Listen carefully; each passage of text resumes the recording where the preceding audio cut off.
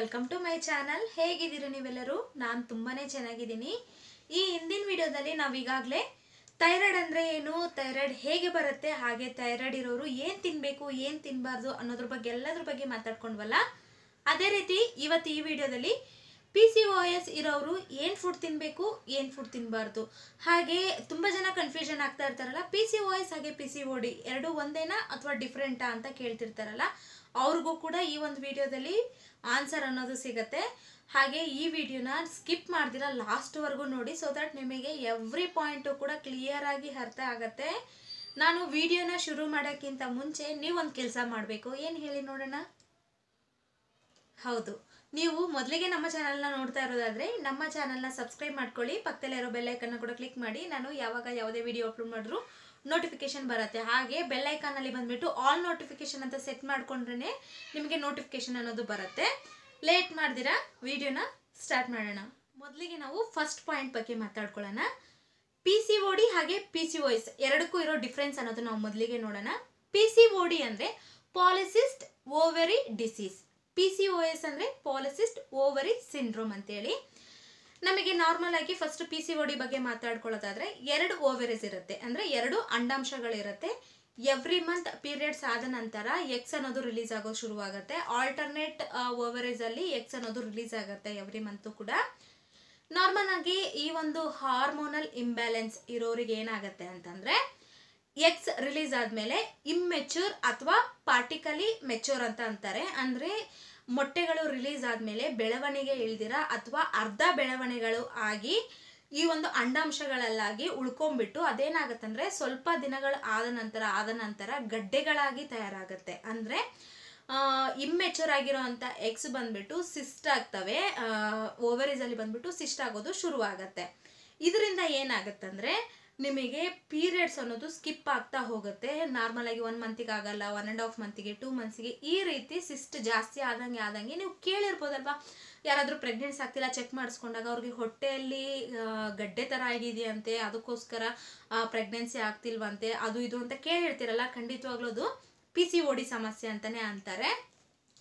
ಈ ರೀತಿ ಈ ಒಂದು ಪಿ ಸಿ ಡಿ ಸಮಸ್ಯೆ ಯಾಕೆ ಬರುತ್ತೆ ಅಂತ ನಾವು ಮೇನಾಗಿ ಮಾತಾಡ್ಕೊಂಡ್ರೆ ಜಂಕ್ ಫುಡ್ ಜಾಸ್ತಿ ತಿನ್ನೋದ್ರಿಂದ ಹಾಗೆ ಪ್ರೊಸೆಸ್ಡ್ ಫುಡ್ ತಿನ್ನೋದ್ರಿಂದ ಹಾಗೆ ವೇಟ್ ಗೇನ್ ಜಾಸ್ತಿ ಆಗ್ತಾ ಇರ್ತಾರಲ್ಲ, ಅವ್ರಿಗೂ ಕೂಡ ಈ ಒಂದು ಸಮಸ್ಯೆ ಬರುತ್ತೆ. ಮೇನ್ ಆಗಿ ಬಂದ್ಬಿಟ್ಟು ಹಾರ್ಮೋನಲ್ ಇಂಬ್ಯಾಲೆನ್ಸ್ ಇಂದ ಈ ಒಂದು ಪಿ ಸಿ ಡಿ ಸಮಸ್ಯೆ ಅನ್ನೋದು ಬರುತ್ತೆ. ಈ ಒಂದು ಸಮಸ್ಯೆ ಬಂದರೆ ನಿಮಗೆ ಬಂದ್ಬಿಟ್ಟು ಪ್ರೆಗ್ನೆನ್ಸಿ ಆಗೋದು ತುಂಬ ಕಮ್ಮಿ ಪ್ರೆಗ್ನೆನ್ಸಿಗಳು ಬಂದ್ಬಿಟ್ಟು ಆಗೋದಿಲ್ಲ. ಚಾನ್ಸಸ್ ಇಲ್ವಾ ಅಂದರೆ ಖಂಡಿತವಾಗ್ಲೂ ಚಾನ್ಸಸ್ ಇದೆ. ನೀವು ಪ್ರೆಗ್ನೆಂಟ್ ಕೂಡ ಆಗ್ಬೋದು. ಬಟ್ ಆದರೆ ನೀವು ನಿಮ್ಮ ಲೈಫ್ ಸ್ಟೈಲ್ ಅನ್ನೋದೇ ಚೇಂಜ್ ಮಾಡ್ಕೋಬೇಕು. ಮೇನ್ ಇದರ ಒಂದು ಲಕ್ಷಣಗಳು ನೋಡೋಣ.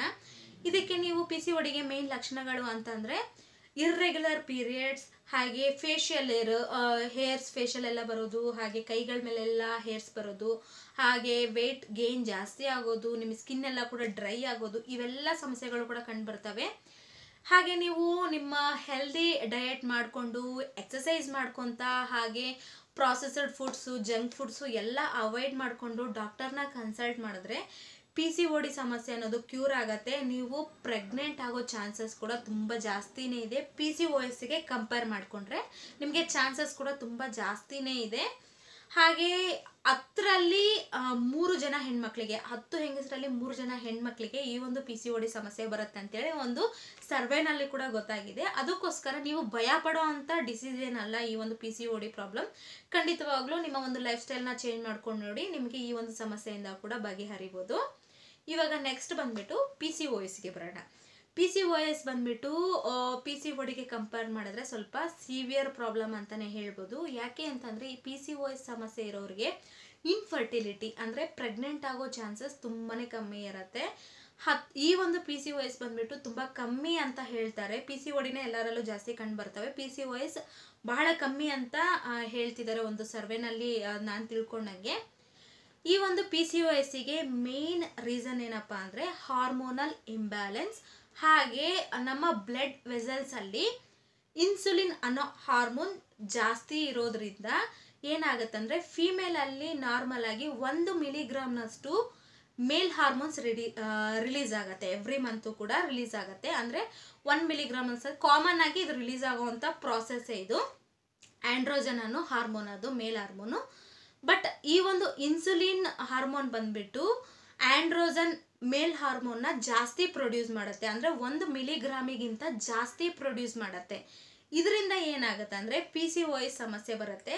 ಹಾಗೆ ಈ ಒಂದು ಆ್ಯಂಡ್ರೋಜನ್ ಅನ್ನೋ ಮೇಲ್ ಹಾರ್ಮೋನ್ ಜಾಸ್ತಿ ಆದರೆ ನಮಗೆ ಪೀರಿಯಡ್ಸ್ ಅನ್ನೋದು ಸ್ಕಿಪ್ ಆಗುತ್ತೆ. ಇರ್ರೆಗ್ಯುಲರ್ ಪೀರಿಯಡ್ಸ್ ಅಂತ ಹೇಳ್ಬೋದು. ಹಾಗೆ ನಿಮಗೆ ಬಂದ್ಬಿಟ್ಟು ಬಾಲ್ಡ್ನೆಸ್ ಇಲ್ಲಿ ಬಾಣಲಿ ಅಂತಾರಲ್ಲ, ಸೊ ಅದು ಬರುತ್ತೆ. ಹಾಗೆ ಬಂದ್ಬಿಟ್ಟು ಫೇಶಿಯಲ್ ಹೇರ್ಸು ಇಲ್ಲೆಲ್ಲ ಚೆಸ್ಟ್ ಏರಿಯಾದಲ್ಲಿ ಹಾಗೆ ಕೈಗಳಲ್ಲಿ ಕೂಡ ಹೇರ್ಸ್ ಅನ್ನೋದು ಜಾಸ್ತಿ ಬರುತ್ತೆ. ಎಲ್ಲ ಗಂಡಸರದ್ದು ಯಾವ್ಯಾವ ಲಕ್ಷಣಗಳಿದಾವಲ್ಲ ಆಲ್ಮೋಸ್ಟ್ ಎಲ್ಲ ಕಾಣಿಸುತ್ತೆ. ನೆಕ್ಸ್ಟ್ ಬಂದ್ಬಿಟ್ಟು ಆ್ಯಕ್ನೆ ಪಿಂಪಲ್ಸ್ ಅನ್ನೋದು ಜಾಸ್ತಿ ಬರುತ್ತೆ. ಇಲ್ಲಿ ಇಲ್ಲಿ ಕತ್ತುಗಳ ಹತ್ರ. ಹಾಗೆ ಸ್ಕಿನ್ ಟ್ಯಾಕ್ಸ್ ಅಂತಾರಲ್ಲ, ಇಲ್ಲಿ ಎಲ್ಲ ಕೂಡ ಸ್ಕಿನ್ ಟ್ಯಾಕ್ಸ್ ಅನ್ನೋದು ನಿಮಗೆ ಕಂಡು ಬರುತ್ತೆ.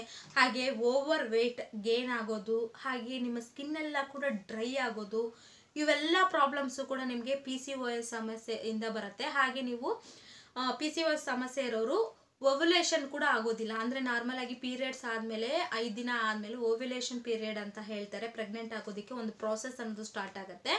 ಈ ಒಂದು ಪಿ ಸಿ ಓ ಎಸ್ ಸಮಸ್ಯೆ ಇರೋರಿಗೆ ಆ ಒಂದು ಓವ್ಯುಲೇಷನ್ ಅನ್ನೋದು ಕೂಡ ಆಗೋದಿಲ್ಲ. ಇದರಿಂದ ಏನಾಗುತ್ತೆ ಅಂದರೆ ಪಿ ಸಿ ಓ ಎಸ್ ಇರೋರಿಗೆ ಪ್ರೆಗ್ನೆಂಟ್ ಆಗೋದಕ್ಕೆ ಚಾನ್ಸಸ್ ತುಂಬಾ ಕಮ್ಮಿ ಅಂತ ಹೇಳ್ತಾರೆ. ಸೊ ಅದಕ್ಕೋಸ್ಕರ ಬಾಡಿಯಲ್ಲಿ ನಮ್ಮ ಒಂದು ಬ್ಲಡ್ ವೆಸಲ್ಸಲ್ಲಿ ಇನ್ಸುಲಿನ್ ಲೆವೆಲ್ಸ್ನ ನಾವು ಕಂಟ್ರೋಲ್ ಮಾಡ್ತಾ ಇರಬೇಕು. ಅದಕ್ಕೆ ತಕ್ಕನಾಗೆ ನಾವು ಡಯೆಟ್ ಮಾಡಬೇಕು ಫುಡ್ಸ್ನ ತಿನ್ನಬೇಕು ಅದಕ್ಕೋಸ್ಕರನೇ ಕೆಲವೊಂದು ಫುಡ್ಸ್ ಜಾಸ್ತಿ ತಿನ್ನಬಾರ್ದು ಅಂತ ಹೇಳ್ತಾರೆ. ಅವ, ಎಲ್ಲದ್ರ ಬಗ್ಗೆ ಯಾವ ಫುಡ್ ತಿನ್ನಬೇಕು ಯಾವ ಫುಡ್ ತಿನ್ನಬಾರ್ದು ಅನ್ನೋದ್ರ ಬಗ್ಗೆ ಇವಾಗ ಈ ವಿಡಿಯೋದಲ್ಲಿ ಕಂಟಿನ್ಯೂ ಆಗಿ ನೋಡೋಣ. ಮೊದಲಿಗೆ ಪಿ ಸಿ ಓ ಎಸ್ ಸಮಸ್ಯೆ ಇರೋರು ಯಾವ ರೀತಿ ಫುಡ್ನ ತಗೋಬೇಕು ಅನ್ನೋದು ನೋಡೋಣ. ನೀವು ಬಂದ್ಬಿಟ್ಟು ಮಿಲೆಟ್ಸ್ ತಿನ್ಬೋದು. ಮಿಲೆಟ್ಸಲ್ಲಿ ಬಂದ್ಬಿಟ್ಟು ಹೈ ಫೈಬರ್ ಕಂಟೆಂಟ್ ಇರೋದ್ರಿಂದ ತುಂಬಾ ಒಳ್ಳೆಯದು ರಾಗಿ, ಜೋಳ ಎಲ್ಲ ಕೂಡ ತಿನ್ಬೋದು. ರಾಗಿ ರೊಟ್ಟಿ, ಜೋಳದ ರೊಟ್ಟಿ ಎಲ್ಲ ಕೂಡ ತಿನ್ಬೋದು. ನೆಕ್ಸ್ಟ್ ಬಂದ್ಬಿಟ್ಟು ಬ್ರೌನ್ ರೈಸ್ ತಿನ್ಬೋದು ಓಟ್ಸ್ ತಿನ್ಬೋದು. ಓಟ್ಸಲ್ಲಿ ಬಂದ್ಬಿಟ್ಟು ಗ್ಲುಟನ್ ಫ್ರೀ ಓಟ್ಸ್ ಅಂತ ಸಿಗತ್ತೆ. ಪ್ಯಾಕೆಟ್ ಮೇಲೇ ಬರೆದಿರುತ್ತೆ. ಅದನ್ನ ತಿನ್ಬೋದು. ನೆಕ್ಸ್ಟ್ ಬಂದ್ಬಿಟ್ಟು ಮಲ್ಟಿ ಗ್ರೇನ್ ಬ್ರೆಡ್ ಸಿಗತ್ತೆ. ಮಲ್ಟಿ ಗ್ರೇನ್ ಬ್ರೆಡ್ ತಿನ್ಬೋದು. ಮಲ್ಟಿ ಗ್ರೇನ್ ದೋಸೆ ತಿನ್ಬೋದು. ಮಣ್ಣಲ್ಲೇ ಕೂಡ ಮಲ್ಟಿ ಗ್ರೇನ್ ಹಿಟ್ಟನ್ನ ಮಾಡಿಕೊಂಡು ತಿನ್ಬೋದು. ಹಾಗೆ ನೆಕ್ಸ್ಟ್ ಬಂದ್ಬಿಟ್ಟು ವೆಜಿಟೇಬಲ್ಸಿಗೆ ಬಂದ ತಕ್ಷಣ ಆಲ್ಮೋಸ್ಟ್ ಅಲ್ಲಿ ಎಲ್ಲ ತಿನ್ಬೋದು. ಆದರೆ ವೆಯ್ಟ್ ಲಾಸ್ ಆಗೋದಕ್ಕೋಸ್ಕರ ಹೆಚ್ಚಿಗೆ ಬಂದ್ಬಿಟ್ಟು ಹೆಚ್ಚಿಗೆ ವಾಟರ್ ಕಂಟೆಂಟ್ ಇರೋವಂಥ ವೆಜಿಟೇಬಲ್ಸ್ನ more more water content vegetables ಅಂತ ನೀವು ಗೂಗಲಲ್ಲಿ ಸರ್ಚ್ ಮಾಡ್ಬೋದು. ಸೊ ಎಲ್ಲ ವೆಜಿಟೇಬಲ್ಸ್ ಲಿಸ್ಟು ಕೂಡ ಬರುತ್ತೆ. ಹೆಚ್ಚಿಗೆ ಗಾಡ್ಸ್ ಅಂದರೆ ಸೋರೆಕಾಯಿ, ಹೀರೆಕಾಯಿ ಆಗಲ್ಕಾಯಿ ಪಡುವಲ್ಕಾಯಿ ಹಾಗೆ ನೆಕ್ಸ್ಟ್ ಬಂದ್ಬಿಟ್ಟು ಹೆಚ್ಚಿಗೆ ಸೊಪ್ಪುಗಳು. ಎಲ್ಲ ರೀತಿ ಸೊಪ್ಪುಗಳು ಕೂಡ ನೀವು ತಿನ್ಬೋದು. ಸೊಪ್ಪುಗಳನ್ನ ನಿಮ್ಮ ಡಯಟಲ್ಲಿ ಇನ್ಕ್ಲೂಡಿಂಗ್ ಮಾಡ್ಕೊಳ್ಳಿ. ವೆಯ್ಟ್ ಲಾಸ್ ಆಗೋದಕ್ಕೆ ತುಂಬಾ ಒಳ್ಳೆಯದು ಹಾಗೆ ನಿಮ್ಮ ಆರೋಗ್ಯಕ್ಕೂ ಕೂಡ ತುಂಬ ಒಳ್ಳೆಯದು ನೆಕ್ಸ್ಟ್ ಬಂದ್ಬಿಟ್ಟು ಫ್ರೂಟ್ಸ್ ವಿಚಾರಕ್ಕೆ ಬಂದರೆ ಲೋ ಗ್ಲಿಸಮಿಕ್ ಇಂಡೆಕ್ಸ್ ಇರುವಂಥ ಫ್ರೂಟ್ಸ್ನ ತಿನ್ಬೋದು. ಗ್ರೂ ನೀವು ಗೂಗಲಲ್ಲಿ ಹೋಗಿ ಸರ್ಚ್ ಮಾಡಿ ಲೋ ಗ್ಲಿಸಮಿಕ್ ಇಂಡೆಕ್ಸ್ ಫ್ರೂಟ್ಸ್ ಅಂತೇಳಿ. ಈ ಒಂದು ಗ್ಲಿಸಮಿಕ್ ಇಂಡೆಕ್ಸ್ ಫ್ರೂಟ್ಸಲ್ಲಿ ಏನಾಗುತ್ತೆ ಅಂದರೆ ಮೋರ್ ಕಾರ್ಬೋಹೈಡ್ ಕಾರ್ಬೋಹೈಡ್ರೇಟ್ಸ್ ಇರುತ್ತೆ. ಕಾರ್ಬೋಹೈಡ್ರೇಟ್ಸ್ ಏನಾಗುತ್ತೆ ಅಂದರೆ, ಬೇಗ ಬ್ರೇಕ್ ಆಗಿಬಿಟ್ಟು ಶುಗರ್ ಲೆವೆಲ್ ಆಗಿ ಬ್ಲಡ್ಡಲ್ಲಿ ಮಿಕ್ಸ್ ಆಗುತ್ತೆ. ಇದರಿಂದ ಇನ್ಸುಲಿನ್ಸ್ ಅನ್ನೋದು ಮತ್ತೆ ಜಾಸ್ತಿ ಆಗುತ್ತೆ. ಸೊ ಅದರಿಂದ ನಮಗೆ ಈ ಒಂದು ಫ್ರೂಟ್ಸು ಸ್ವಲ್ಪ ಕಮ್ಮಿ ತಿನ್ನಬೇಕು ಹಾಗೆ ಪಪ್ಪಾಯ ವಾಟರ್ ಮೆಲನ್ಸ್ ನೆಕ್ಸ್ಟ್ ಬಂದುಬಿಟ್ಟು ಗೋವಾ, ಚೇಪೆಕಾಯಿ ಅಂತಾರಲ್ಲ ಇದು, ಹಾಗೆ ಬಾಳೆಹಣ್ಣು ಇವೆಲ್ಲ ಕೂಡ ನೀವು ಜಾಸ್ತಿನೇ ತಿನ್ಬೋದು. ಒಳ್ಳೆಯದು ಏನೂ ತೊಂದರೆ ಇಲ್ಲ. ನೆಕ್ಸ್ಟ್ ಬಂದುಬಿಟ್ಟು ಹಾಲಿಗೆ ವಿಚಾರಕ್ಕೆ ಬಂದರೆ ಬಾದಾಮ್ ಮಿಲ್ಕ್.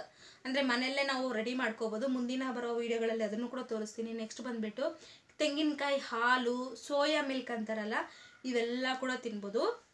ಇದಿಷ್ಟು ತಿನ್ಬೇಕಾಗಿರೋ ಅಂಥ ಲಿಸ್ಟು ನೆಕ್ಸ್ಟ್ ಬಂದ್ಬಿಟ್ಟು ಏನೇನು ತಿನ್ನಬಾರ್ದು ಆ ಒಂದು ಲಿಸ್ಟ್ನು ಕೂಡ ನಾವು ನೋಡ್ಕೊಂಡು ಬರೋಣ. ಏನೇನು ತಿನ್ನಬಾರ್ದು ಅನ್ನೋ ಲಿಸ್ಟಲ್ಲಿ ಮೊದಲಿಗೆ ಇರೋದು ಬಂದ್ಬಿಟ್ಟು ರಿಫೈನ್ಡ್ ಪ್ರಾಡಕ್ಟ್ಸ್ ಅಂದರೆ ಮೈದಾ ಮೇನ್ ಬರುತ್ತೆ. ಮೈದಾಗೆ ಸಂಬಂಧಪಟ್ಟಿರುವಂಥ ಎಲ್ಲ ಫುಡ್ಸ್ನು ಕೂಡ ಅವಾಯ್ಡ್ ಮಾಡಬೇಕು. ಮೇಯ್ನಾಗಿ ಪಿಜ್ಜಾ ಇವೆಲ್ಲ ಬರ್ಗರ್ಸ್ ಎಲ್ಲ ಜಂಕ್ ಫುಡ್ಸ್ನೆಲ್ಲ ಕೂಡ ಅವಾಯ್ಡ್ ಮಾಡಬೇಕು. ಹಾಗೆ ಪ್ರಾಸೆಸ್ಡ್ ಫುಡ್ಸ್ ಪ್ಯಾಕೇಜ್ಡ್ ಫುಡ್ಸ್ ಇವೆಲ್ಲ ಕೂಡ ಅವಾಯ್ಡ್ ಮಾಡಬೇಕು. ಯಾಕೆಂದರೆ ಇವೆಲ್ಲದರಲ್ಲೂ ಕೂಡ ಪ್ರಿಸರ್ವೇಟಿವ್ಸ್ ಜಾಸ್ತಿ ಇರುತ್ತೆ. ಸೊ ಇದರಿಂದ ಹೆಲ್ತಿಗೆ ಅಸ್ಲಿಗೆ ಒಳ್ಳೇದಲ್ಲ. ಹಾಗೆ ಕಾರ್ಬೋನೇಟೆಡ್ ಡ್ರಿಂಕ್ಸ್ ಈ ಪೆಪ್ಸಿ ಕೊಕೋ ಕೋಲಾ ಈ ರೀತಿ ಡ್ರಿಂಕ್ಸ್ನೆಲ್ಲ ಕೂಡ ಅವಾಯ್ಡ್ ಮಾಡಬೇಕು. ಇದರಲ್ಲೂ ಕೂಡ ಶುಗರ್ ಕಂಟೆಂಟ್ ಜಾಸ್ತಿ ಇರುತ್ತೆ. ಸೊ ಇದು ಕೂಡ ಇನ್ಸುಲಿನ್ ಲೆವೆಲ್ಸ್ನ ಜಾಸ್ತಿ ಮಾಡೋದ್ರಿಂದ ಅದು ಕೂಡ ಒಳ್ಳೇದಲ್ಲ. ನೆಕ್ಸ್ಟ್ ಬಂದುಬಿಟ್ಟು ವೆಜಿಟೇಬಲ್ಸ್ ವಿಚಾರಕ್ಕೆ ಬಂದರೆ ಪೊಟೆಟೊ ಹಾಗೆ ಸ್ವೀಟ್ ಪೊಟೆಟೊ ಎರಡೂ ಕೂಡ ತಿನ್ನಬಾರ್ದು ಹಾಗೆ ನೆಕ್ಸ್ಟ್ ಬಂದ್ಬಿಟ್ಟು ಡೈರಿ ಪ್ರಾಡಕ್ಟ್ಸ್ ಎಲ್ಲ ಕೂಡ ಅವಾಯ್ಡ್ ಮಾಡಬೇಕು. ಮೊಸರು ಮಾತ್ರ ಸ್ವಲ್ಪ ಮಜ್ಜಿಗೆ ಥರ ಮಾಡ್ಕೊಂಡು ಕುಡಿಬೋದು. ಗಟ್ಟಿ ಮೊಸರಲ್ಲ.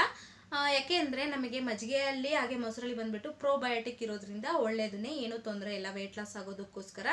ನೆಕ್ಸ್ಟ್ ಬಂದ್ಬಿಟ್ಟು ನಾರ್ಮಲ್ ಮಿಲ್ಕ್ ಆಗಿರಲಿ, ಇಲ್ಲ ಅಂದರೆ ಚೀಸ್ ಬಟರ್ ಪನ್ನೀರ್ ಇವೆಲ್ಲ ಕೂಡ ಕಂಪ್ಲೀಟ್ಲಿ ಅವಾಯ್ಡ್ ಮಾಡಬೇಕಾಗತ್ತೆ. ಹಾಗೆ ನೆಕ್ಸ್ಟ್ ಬಂದ್ಬಿಟ್ಟು ಯಾವುದದು? ವೈಟ್ ರೈಸ್ ವೈಟ್ ರೈಸ್ ಕೂಡ ನಾವು ತಿನ್ನಬಾರ್ದು ಯಾಕೆಂದರೆ ಕಾಪ್ಸ್ ಜಾಸ್ತಿ ಇರುತ್ತಲ್ವಾ? ಸೊ ವೆಯ್ಟ್ ಲಾಸಲ್ಲಿ ಇರೋರಿಗೆ ಈ ಒಂದು ಕಾಪ್ಸ್ ಅಷ್ಟೊಂದು ಒಳ್ಳೇದಲ್ಲ ವೆಯ್ಟ್ ಲಾಸ್ ಆಗೋದಕ್ಕೋಸ್ಕರ. ಹಾಗೆ ಕಾರ್ಬೋಹೈಡ್ರೇಟ್ಸು ಕೂಡ ನಮಗೆ ಬೇಗ ಬ್ರೇಕ್ ಆಗಿ ಶುಗರ್ ಆಗಿ ಬ್ಲಡ್ ವೆಸಲ್ಸಲ್ಲಿ ಕನ್ವರ್ಟ್ ಆಗುತ್ತೆ. ಅದರಿಂದ ನಾರ್ಮಲ್ ರೈಸ್ ಕೂಡ ವೈಟ್ ರೈಸು ಕೂಡ ಈ ಒಂದು ಪಿ ಸಿ ವೈ ಸಮಸ್ಯೆ ಇರೋರು ಅವಾಯ್ಡ್ ಮಾಡಿದ್ರೇ ತುಂಬಾ ಒಳ್ಳೆಯದು ಫ್ರೆಂಡ್ಸ್ ನಾನು ಎಲ್ಲ ಕೂಡ ಹೇಳಿದ್ದೀನಿ ಲಿಸ್ಟಲ್ಲಿ ಹಾಗೆ ನಿಮ್ಮ ಎಲ್ಲ ಒಂದು ಡೌಟ್ಸು ಕೂಡ ಈ ವಿಡಿಯೋದಲ್ಲಿ ಬಗೆಹರಿಸಿದ್ದೀನಿ ಅಂತ ನಾನು ಅಂದ್ಕೊಂಡಿದ್ದೀನಿ ನಿಮಗೆ ಇನ್ನೂ ಏನಾದರೂ ಡೌಟ್ಸ್ ಇತ್ತು ಅಂದರೆ ನೀವು ಕೆಳಗಡೆ ಕಾಮೆಂಟ್ ರೂಪದಲ್ಲಿ ಕೇಳ್ಬೋದು. ಹಾಗೆ ನನ್ನ ಇನ್ಸ್ಟಾಗ್ರಾಮಲ್ಲಿ ಫಾಲೋ ಆಗಿ ಡೈರೆಕ್ಟಾಗಿ ಕೂಡ ಮೆಸೇಜ್ ಮಾಡ್ಬೋದು. ವಿಡಿಯೋ ಇಷ್ಟ ಆಗಿದೆ ಅಂತ ಅಂದ್ಕೊಳ್ತೀನಿ ಫ್ರೆಂಡ್ಸ್ ವಿಡಿಯೋ ಇಷ್ಟ ಆಗಿದ್ರೆ ಖಂಡಿತವಾಗ್ಲೂ ಲೈಕ್ ಮಾಡಿ ನಿಮ್ಮ ಫ್ರೆಂಡ್ಸ್ ಜೊತೆ ಫ್ಯಾಮಿಲಿ ಮೆಂಬರ್ಸ್ ಜೊತೆ ಈ ವಿಡಿಯೋನ ಶೇರ್ ಮಾಡ್ಕೊಳ್ಳಿ. ನೀವು ಇನ್ನೂ ನಮ್ಮ ಚಾನಲ್ನ ಸಬ್ಸ್ಕ್ರೈಬ್ ಮಾಡ್ಕೊಂಡಿಲ್ಲ ಅಂದರೆ ನಮ್ಮ ಚಾನಲ್ನ ಸಬ್ಸ್ಕ್ರೈಬ್ ಕೂಡ ಮಾಡಿಕೊಂಡು ಪಕ್ಕದಲ್ಲಿರೋ ಬೆಲ್ಲೈಕನ್ನ ಕ್ಲಿಕ್ ಮಾಡಿ. ಇನ್ನೊಂದು ಒಳ್ಳೆ ವಿಡಿಯೋದಲ್ಲಿ ಮತ್ತೆ ನಿಮ್ಮ ಮುಂದೆ ಇರ್ತೀನಿ. ಅಲ್ಲಿವರೆಗೂ stay tuned take care bye bye